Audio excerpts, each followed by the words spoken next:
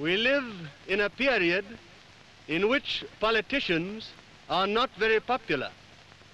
And believe me, you have my sympathy.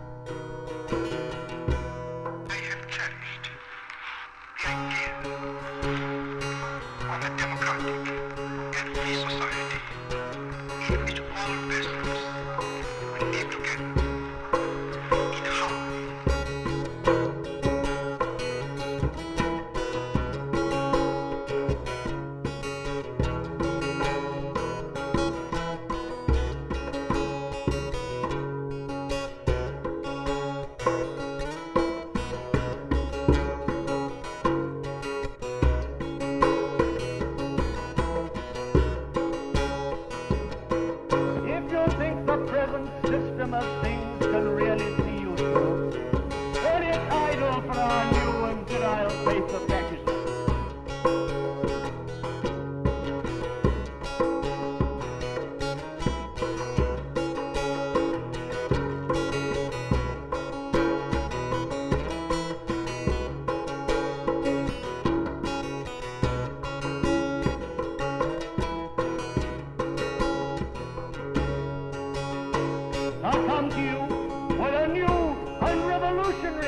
of politics, of economics, and of life itself.